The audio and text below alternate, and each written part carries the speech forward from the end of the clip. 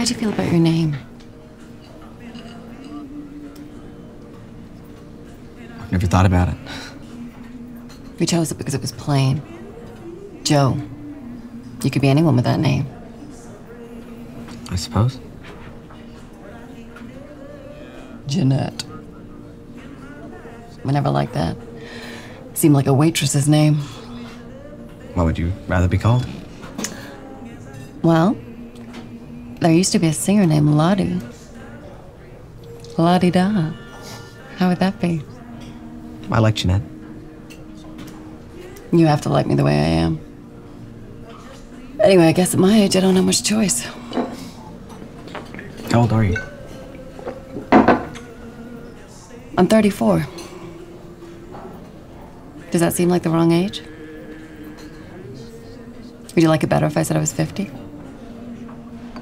No? 34 is alright. All right. Well, I won't be this age forever, so don't get used to it.